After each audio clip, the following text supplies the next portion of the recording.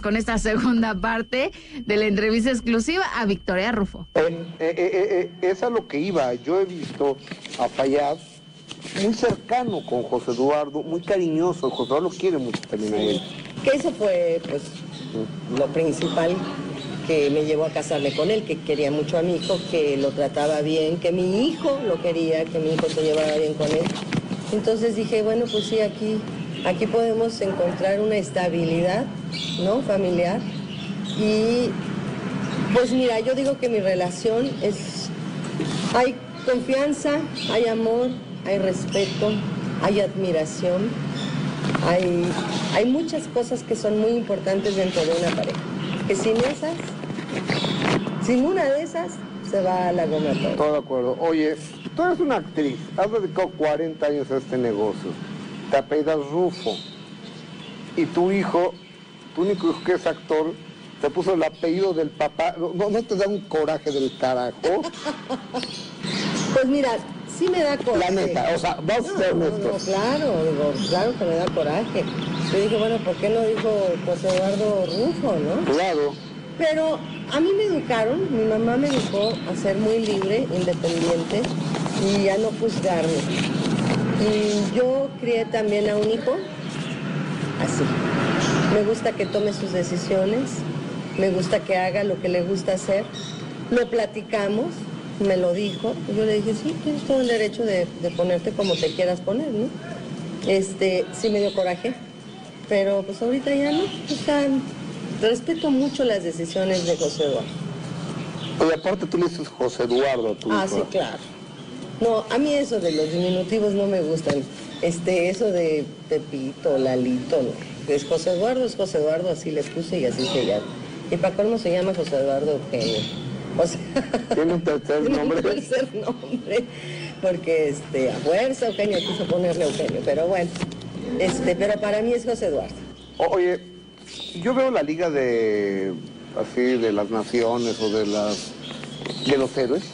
Ahí se junta que Gatúbela con el hombre araña, Spider-Man, todas esas, ¿no? Entonces yo pienso, así han de ser las esposas de políticos. Pienso, ¿no? No, no, se reúnen en, en un lugar privado. Angélica Rivera, Anaí, Victoria Rufo. ¿Se, se llevan entre ustedes las, las políticas actrices? Pues mira, lo que pasa es que yo en lo personal, como actrices, Anaí trabajamos juntos en una, juntas en una novela que se llamó Vivo por Elena. Estaba chiquitita Anaí, era mi hermana. Entonces, independientemente de lo que sea ahorita, esposa de quien sea, es una compañera de trabajo y la quiero mucho. Eh, Angélica también la conozco en los escenarios, ¿no? Es totalmente independiente a lo que es ahorita. Ahora, ahorita no nos vemos, ¿no? Pero es lo que, lo que pasa también como, ahorita estamos haciendo esta novela y todos compartimos día y noche, comemos, desayunamos, cenamos todos juntos. Termina esta novela y a lo mejor haces grandes amigos que vas a seguir frecuentando, pero no igual, ¿no? Con la misma frecuencia que lo haces trabajando. Igual pasa en- eh, con ellas, ¿no? Las conozco, hemos eh, convivido en muchas situaciones de, de- de cuestión de trabajo, de este, inauguraciones de, de teatro, de estrenos, de cosas, pero ahorita no. Y también te voy a decir una cosa, creo firmemente que en el amor no hay profesión, Claro. ¿no? O sea, el amor se da, se da, como sea, con quien sea. Oye, a- al que conocemos de tus hijos es a José Eduardo Eugenio. José Eduardo Eugenio, porque yo, yo no sabía que sea. Eduardo, ya. Pero sí es un nombre completo del niño. Pero él no se puso José no- Eduardo no del niño. Derbez, se puso José Eduardo. Eh, eh, es un adulto, es un adulto, pero capaz ni seguirá siendo un niño, lo conocí en tu panza. Este, pero tienes otros dos, Vicky y Anua. Ya no así. ¿Y ellos que pintan para este negocio de la actuada o qué? Pues mira, les gusta mucho este la música, el baile. Entonces no sé, igual pueden tomar un rumbo este diferente a la actuación, ¿no? Ahorita no te podría decir. O- Oye, Victoria, regresemos un poco en la plática. Cuando en una cena Omar Fayad te dice, oye, ¿quieres ser mi esposa? Y que te dijiste, no, pues claro que sí. ¿Cómo no? Y se casaron. Sí. Ok.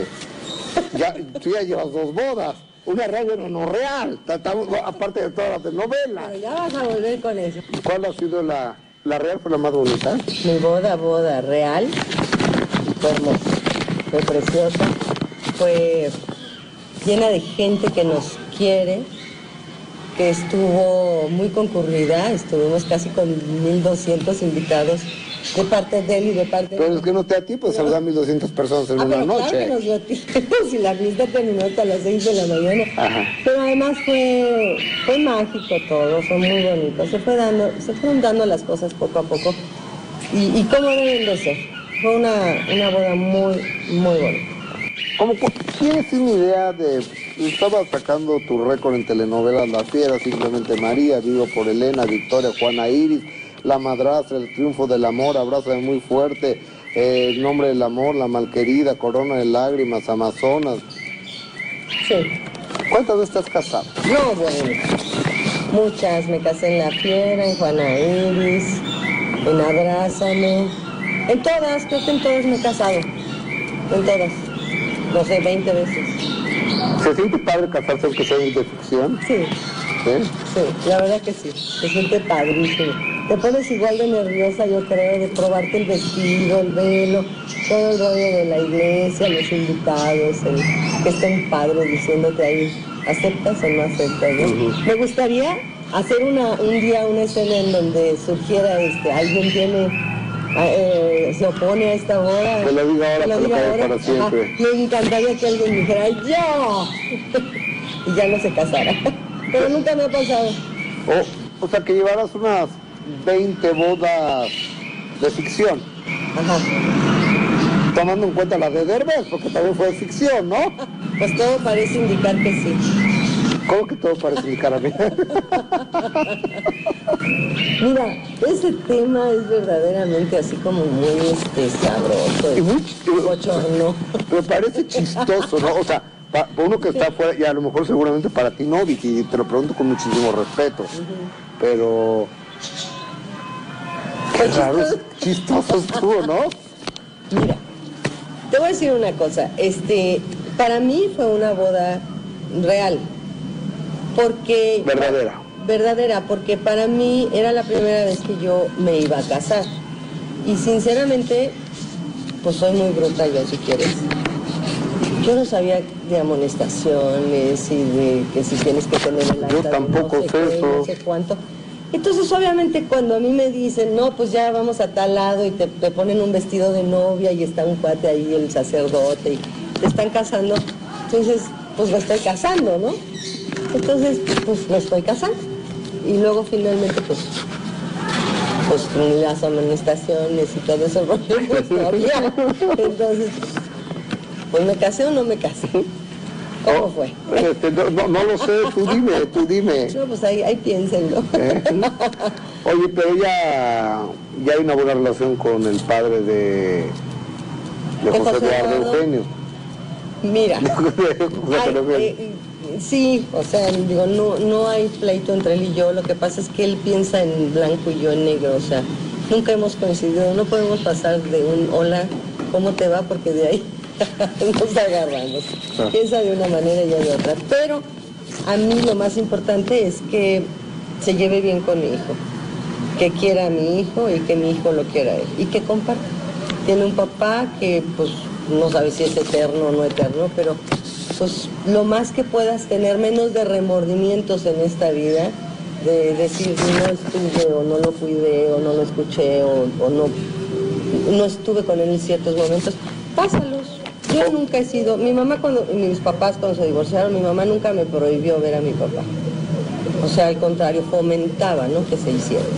Y yo también, así como me crearon a mí, me educaron a mí, yo eduqué a José Eduardo y siempre le dije, ve a tu papá y estate, estate con tu papá. O sea, ese es el único que tienes.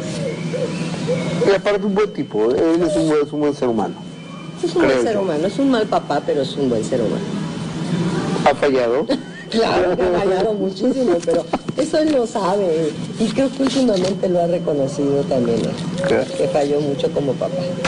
Reporte Última Palabra con Gustavo Adolfo Infante.